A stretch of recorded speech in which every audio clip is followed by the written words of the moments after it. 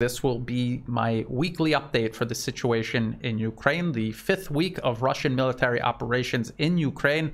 And as I have done in the past, I, I, will do again. I want to remind people of how this all started. It did not start over a little over a month ago with Russia entering into Ukraine. It actually started eight years ago when the US government helped violently overthrow the elected government of Ukraine and installed a hand picked client regime to replace it. And ever since then, Ukraine's economy has been destroyed, the country divided against itself, uh, the regime backed by the US and other NATO members in Kiev have been waging war against the eastern part of Ukraine, the Donbas region. Uh, they had killed 14,000 people on both sides of this conflict, including over 3,000 civilians and, and mostly ethnic Russians. And this was being done right on Russia's border. And uh, the US and NATO involvement in Ukraine, a country that borders Russia, is part of a much larger uh, and long, longer term uh, encirclement and encroachment by the US and NATO on Russia's borders. So this was an existential threat being created right on Russia's borders. So here we are five weeks into these military operations. And uh, first thing I want to do is I want to dispel this line of propaganda where we're constantly told that Russia truly believed that they would roll into Ukraine, take over the entire country in 48 hours. And because they weren't able to, they are stalled they have no plan now. They don't know what to do. Uh, President Vladimir Putin is backed up into a corner. I want to dispel this. I want to show you what Russia is doing. I want to show you a ongoing military operation that Russia is also involved in that is very similar to the one ongoing in Ukraine. And I also want to explain why things are not happening lightning fast on the battlefield in Ukraine. So, first of all, and I've said this before, and it needs to be repeated because no one else is bringing this point up. Ukraine is bigger than, say, Iraq. The US invaded Iraq in 2003. It took them a month to reach and take Baghdad. And that was after years and years of sanctions, of punitive strikes on Iraq leading up to the invasion to degrade their military abilities, uh, crippling sanctions that were killed half a million children alone in the lead up to the war. Uh, and uh, the US went in with half a million troops. Between them and the UK, there were half a million troops invading Iraq. And the way they went into Iraq was to just attack and destroy everything, shock and awe. That was how the US president at the time described their military operations in Iraq. So compare that to what Russia is doing now in Ukraine. Ukraine is 38% bigger than Iraq. In 2003, Iraq's population was 25 million. When Russia went into Ukraine, Ukraine's population was somewhere around 44 million people. And for the last eight years, the US has been pouring billions of dollars of weapons and training into Ukraine's military. And even though the Ukrainian uh, economy has become dysfunctional, the US and its allies have been pumping money in to keep the military alive and well. That said, Russia did not think they were going to take over Ukraine in two days. That's why they have uh, accumulated months and months worth of men, munitions, and machines all along the Russian Ukrainian border and also staged in Belarus. Let's get into that right now. And I've done this before. I'm going to continue doing this. One of the sources that I look at every single week to, to try to fully understand the, the situation in Ukraine and how everyone is looking at it is I go to the US Department of Defense's official website and I look at their briefing. So this was just yesterday. I'm recording this on the 26th. So this was yesterday. They're saying we're now 30 days in. Uh, 1,250 missile launches since the start of the invasion. And they're talking about how uh, Russia is digging in around Kiev. They're not trying to advance, they're just digging in and they're prioritizing eastern Ukraine. And what they're going to do is try to encircle and cut off the very significant military force Ukraine has operating in eastern Ukraine. Once that is encircled and contained, that will cease to exist. They will either surrender or those units will be decimated. And either way, they will cease to exist in in relation to this ongoing conflict. Uh, what else does it say? There's something else very interesting that they say. So right here, uh, the Defense Department official is saying uh, you'll probably want to ask about two things. Uh, so one, the assessed available combat power. We hold the Russians less than 90%, somewhere between 85 and less than 90% of their assessed available combat power. So they continue to expend their resources and when talking about resources, I have not seen indications that they are trying to bring in resupply from elsewhere. Again, they have assembled an awful lot of their combat power to this fight. The Pentagon is saying is that Russia prepared a huge amount of resources uh, and prepared it ahead of this operation for this operation. And they have not even exhausted that let alone bringing in more from elsewhere in Russia. They have somewhere between 85 and 90% of the, the combat power that they allotted for this operation ahead of time still at their disposal. Now, keep that in mind because I'm going to show you uh, Russia's own update on where they see themselves right now in this operation. So this is a Russian news agency TASS operation in Ukraine proceeds as planned first stage goals complete. According to the Russian Defense Ministry, Ukrainian armed forces sustained serious losses. This is also from March 25th, 2022. And I want to come down to here. During the first month of the operation, a total of 1,351 Russian servicemen died, while 3,825 were injured. And then I want to go over to this Radio Free Europe, Radio Liberty report from the same day, March 25th. Russia says 1,351 of its soldiers have died in Ukraine, well below Western estimates. Let's see what these Western estimates are. A NATO official told AP on March 24th that the Russian death toll was likely between 7,000 and 14,000, although numbers from both sides are impossible to independently confirm. And then we have this Wall Street Journal report. NATO says that up to 40,000 Russian troops have been killed, wounded, taken prisoner, or are missing in Ukraine. And they're basing that on, on the estimate of between 7,000 and 15,000 Russian soldiers being killed and then extrapolating the the number of casualties imprisoned, etc. And so they haven't confirmed any of these numbers. Uh, but when you think about that, uh, they're saying that Russia went into Ukraine with 190,000 troops, and if 40,000 of them are no longer in the fight, then their combat power is much lower than 90% or 85 to 90%, much, much lower. And yet the Pentagon assesses that Russia's combat power, everything that they have available to them, is somewhere between 85 and 90%. So whoever this NATO official is saying this, these numbers don't don't add up. Where are they getting this number from? And just to let you know what what the Pentagon means when they say combat power, they actually were asked, what does that mean? And so they explained that in this Defense Department briefing uh, from yesterday. So it says on the combat power, when we talk about assessed combat power, we're talking about their inventories, not just the people, and that's certainly part of it, but also tanks and armored vehicles, artillery systems, fighter and fighter bomber aircraft, helicopters, and SAMs, which is surface to air missiles, uh, ballistic missiles. So it's everything, including naval power in the Black Sea. And we've come up with somewhere between 85 and just less than 90% available to them right now. And again, they, they have said that there have been no attempts to even replenish this. They still feel confident that they have enough to do whatever it is that they're trying to do the West is trying to convince the, the world that Russia is being crushed, but they, they can't be being crushed and losing 40,000 troops every month and still have 90% of their combat power available to them. And not even having to touch what other power they have to draw from across all of the rest of Russia. Now, people will say, well, then, Brian, how come how come Russia is taking so long? Why why is this taking so long? And I just want to remind people that this is not an episode of GI Joe. They are going into a very large country.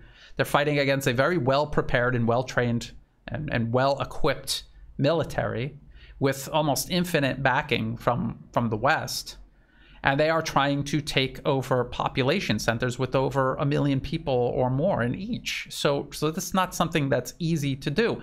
Uh, and we have an example of Russia itself carrying out military operations like this. They did this in Syria from 2015 onward, up to and including right now. Russia has been in Syria helping the Syrian government take back heavily populated centers, secure them, and uh, protect them from from ever falling into the hands of Western sponsored terrorists ever again. So uh, let's take a look at this. This is Combating Terrorism Center at West Point. And if you read through this, you, you will see that they are not pro Russian at all. They have a very low opinion of Russia. They don't hesitate to repeat baseless claims or to cite dubious organizations like Human Rights Watch. One thing they will say is that uh, Russia has performed very well in Syria. Just four years after directly entering the Syrian war, Russia has done the unthinkable. It has helped Syrian President Bashar al Assad retake much of the country from rebel control. And when they say rebels, they mean Al Qaeda and ISIS, who the US was sponsoring and arming. Moscow's air campaign in Syria was the largest outside of Russian territory since the end of the Cold War. To be sure, there are still areas of resistance like Idlib, and Turkish and Kurdish forces control terrain in northern and eastern Syria, but the battlefield victories in Syria have been undeniable. With Russian assistance, Syrian and Iranian supported ground forces retook Deir ez-Zor in the east and Aleppo, Homs, Damascus, and other cities across the country. None of this looked possible in, in late 2015 when Russian policymakers assessed that the Syrian regime might collapse without rapid and decisive assistance. Instead of deploying large numbers of Russian army forces to engage in ground combat in Syria, as the Soviet Union did in Afghanistan in the 1980s, Moscow relied on Syrian army forces, Lebanese Hezbollah, other militias, and private military companies as the main ground maneuver elements. The Russian Air Force and Navy supported these forces by conducting strikes from fixed wing aircraft and ships in the Mediterranean and Caspian Seas. And now they're talking about Aleppo, and they're talking about uh, from September through December 2016 they focused on encircling rebel positions in eastern parts of the city. In addition to air and naval strikes, the Russians supported ground forces with Orlan unmanned aerial vehicles, electronic warfare capabilities, forward air controllers, and soldiers from the 120th Russian Guard Artillery Regiment. By December 2016, ground forces had effectively encircled and crushed rebel groups operating in the city. The International Committee of the Red Cross helped oversee the evacuation of civilians and fighters by bus and car out of eastern Aleppo to areas in western Aleppo and in neighboring Idlib. And so, what did Russia do? Russia was providing the air power and very specific uh, capabilities on the ground, while Syrian forces and their Iranian and Lebanese allies formed the, the main bulk of the ground forces going into these cities. So they would encircle them, they would create corridors for civilians to leave. They would negotiate with the armed groups inside the city. Some of them would lay down arms and evacuate by bus, just as this uh, combating terrorism center at West Point paper admits and then they would continue to close in until they retook the city. And then they, uh, between the Syrians, uh, because it's their country, and the Russian military police, they would they would establish law and order in the city once again and return life back to normal. That is what they are doing in Ukraine right now. That is exactly what they're doing, and it, it could take months to encircle and then close in on a city. It could take months to do that. It's a, it's a very systematic, methodical process. If they wanted to just level the city and bury everyone alive in it, they could they could do that very quickly, just like the U.S. did in say Fallujah in Iraq. Uh, so, but that's not what they wanted to do. That's not what they wanted to do in Syria because once the city was taken, they had to rebuild it and administer it. And once they take these cities in Ukraine, they want to rebuild them and administer them. What I'm going to show you next is an animation it's an animation of the retaking of Aleppo, and then I'm going to show you an animation of the taking of Mariupol in Ukraine. and you are going to see how it is the same process. Areas in red are controlled by the Syrian government. Areas in green are controlled by the US sponsored terrorists. And that territory that the terrorists held in Aleppo, that connected all the way to the Turkish border, where they were receiving all of their arms and reinforcements and everything else that they needed to continue fighting. And so part of taking over this city, retaking it, liberating it, was encircling it and cutting the fighters holding the city off from that supply line. Russia would bomb the supply line, but then they would also physically block it off with military forces on the ground. And this is exactly what they did in Mariupol. And as you can see, uh, the, the battle went back and forth. There were forces outside, armed militants outside the encirclement trying to break in to help the fighters trapped inside get out. And there were multiple attempts from the fighters inside to consolidate all of their firepower and try to break through. This is a very common theme in warfare all throughout history. And so that was what was going on in Aleppo until eventually Syria retook the city. And to this day, it stands uh, safe, secure, stable, and it's in the process of being rebuilt after years of being occupied by terrorists sponsored by the West. And so now here is Mariupol. Same exact process. Russian troops approaching from two axes from uh, the Donbas region in the east and from uh, Crimea in the southwest. They they linked up, they encircled Mariupol, and then they moved in on the city center. And all during that process, we remember in the news them trying to establish humanitarian corridors to get civilians out, uh, uh giving the because Mariupol was being primarily defended by Azov Nazis, and the Russian military gave them multiple chances to lay down their arms and come out. There were multiple ultimatums, and then when they passed, they moved in and they decimated these units that refused to surrender. Same, same as in Syria, and it takes time. Takes time to do this, unless you just want to bury everyone in the city alive all at one time. Mariupol's a relatively small city. Uh, other cities like Kherson fell already, and Russia controls cities like Kherson. Uh, Kharkov, Kiev, it'll be the same situation. It'll be a long term process of establishing the encirclement, closing the forces off inside, evacuating civilians, giving fighters inside the opportunity to surrender, uh, possibly instead of uh, ending up in the custody of the Russians, moving westward, maybe, just like they, they did in Syria, sending them to Idlib. And, and so it's going to be a very long, drawn out process. You can't take these cities by force overnight. It's not an episode of G.I. Joe. This takes time. It took months and months to take certain cities in, in Syria. And it will take months and months to take certain cities in Ukraine. Uh, Russia is now pacing itself. They, they call it it's a war of attrition. No, they are pacing themselves. They're doing exactly in Ukraine what they did in Syria. But instead of having Syrian forces on the ground, now it is Russian forces. And let's look at the situation in Ukraine. An overview. You have all of this territory held by Russia. There has been no, I mean, there has been talk of Ukrainian counterattacks, they, they might temporarily push into a certain pocket, uh, but they have not retaken any significant amount of territory from Russia, and they're not going to. They won't. Mariupol is all but secured as of recording. I mean, you, you have terrorists hiding out in, inside the city, so it'll take time to mop up.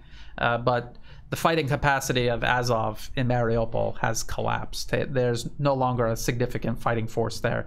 Uh, just like in Aleppo and, and other places in Syria, after the main battle is over, you're going to have holdouts and snipers, and you, you got to go through there and disarm unexploded ordnance and booby traps. And so it, it'll be a process. Again, this is reality. This is not something this isn't like in a movie. Now I want to point out some other things here. You, you see what's going on here.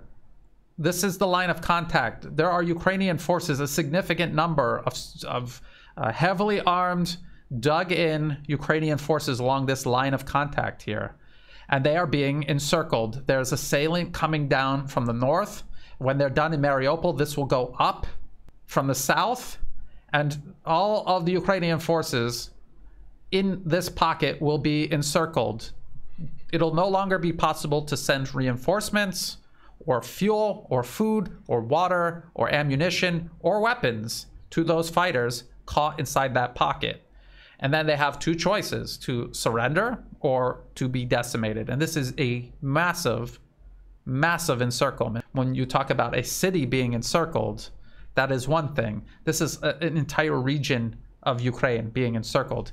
Now, what else has been going on this week, uh, this fifth week? We keep hearing the Western media accuse Russia preparing to use chemical or, or nuclear weapons. And I, I just want to show you this from the Harvard Gazette, and I've mentioned this before, and I have a whole video about why Russia would never use chemical weapons, how, how chemical weapons are even less effective than regular conventional weapons.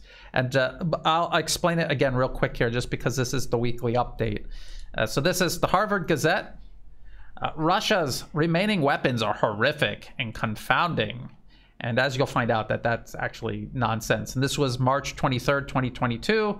And they're talking to this guy, Matthew Bunn. Bunn spoke with the Gazette about Russia's potential use of chemical and biological weapons in Ukraine and how the Biden administration and the West may respond. And so uh, they ask him about it, and he says, from a purely military perspective, there are no military targets that nuclear, chemical, or biological weapons could destroy that Russia can't destroy with its air power and rockets. The main purpose of using them would probably be to try to shock the Ukrainians into surrender. But you know what? If you wanted to shock the Ukrainians into surrender, you could just use your conventional weapons and flatten the city and bury them alive in their own city, and that that would shock them, and it would be uh, done at a much lower political price than using chemical weapons. So again, uh, conventional weapons can do everything that chemical weapons can do, uh, but just many times more effective, including shocking people into surrendering. Uh, let's see what else he says. Unfortunately, a lot of Russia's capabilities are secret. Well, then, if they're secret, how do you know about these capabilities that they even exist? So now we're now we're getting into uh, what the West always does when it comes to WMDs, weapons of mass destruction, is they're just making stuff up. They're speculating. They're making baseless accusations. So what does he say? He says uh, under the Biological Weapons Convention, they're not supposed to have any biological weapons, but they are thought to be violating that convention and still maintaining some offensive biological weapons capabilities. Similarly, under the Chemical Weapons Convention, they're not supposed to have any chemical weapons anymore, but are believed to have significant stocks. They have used small amounts of chemical weapons in assassinations or assassination attempts against dissidents, both in Russia against Alexei Navalny and in the UK against Sergei and Yulia Skripal. That's hilarious because uh, all, all three of them are still alive and well. And so, first of all, there's no evidence that Russia did that. It would make no sense for Russia to do that. And just think about it. This is the perfect example of how useless chemical weapons are. Uh, they're claiming that Russia tried to kill three people with chemical weapons, and three times they failed. Now, I guarantee you, if they just sent a, a secret agent with a pistol and they shot at each one of these people, at least one of them would be dead. And so this is just how ridiculous the West is when they're making up things about their, their adversaries.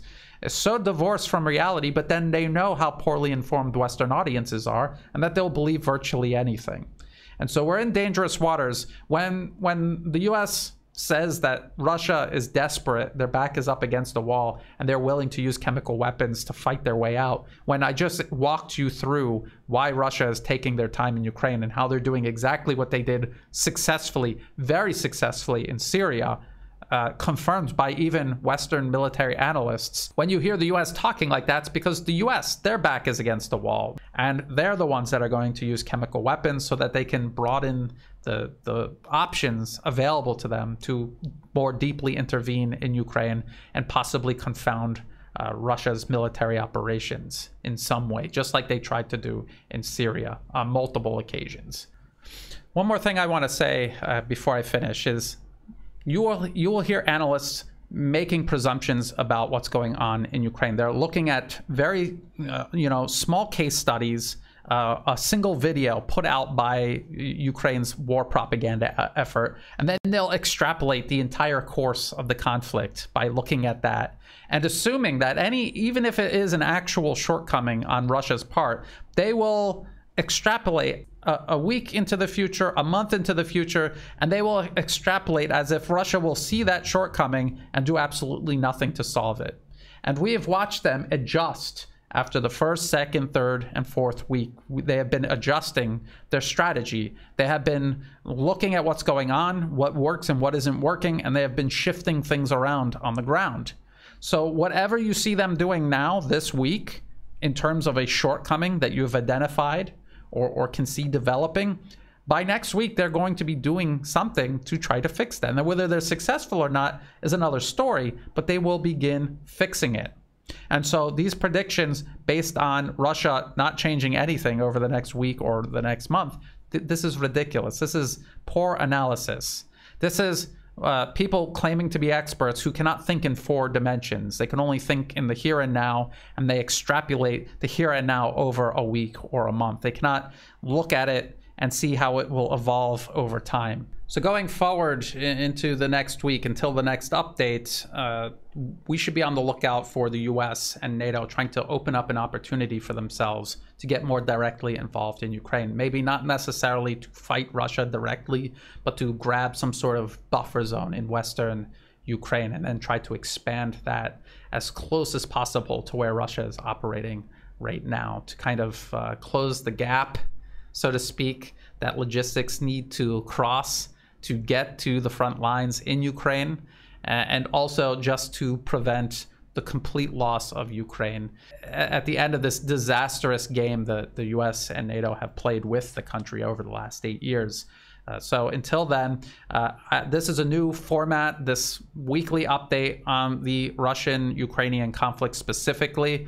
I had been doing these with Angelo live, but we want to kind of dive into other topics every week for that. We'll still do an update, a shorter update, but I want to consolidate everything once a week uh, regarding the situation in, in Ukraine and put it into one video so you could get everything all at one time. If you thought this video was useful, please like and share it. Think about subscribing. It's free to do and it helps the channel grow. If you're watching this on YouTube, please check the video description below for other places you can find my work in case YouTube deletes my channel. I have already been deleted off of Twitter for talking about Ukraine. And so it's probably just a matter of time before I'm gone from YouTube. I'm on Odysee. I'm also on Rumble. All of my videos on YouTube get automatically uploaded to both.